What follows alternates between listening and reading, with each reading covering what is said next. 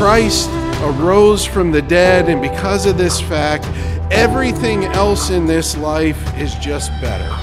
Because Christ rose from the dead, our lives mean something, right? They are not just futile with an expiration date, but the joys and the love and the relationships and uh, the family that we have, and even the, the struggles and the pain and uh, all of that that we go through as human beings, all of that means something. It means that it's headed somewhere, it's headed to uh, someplace divine.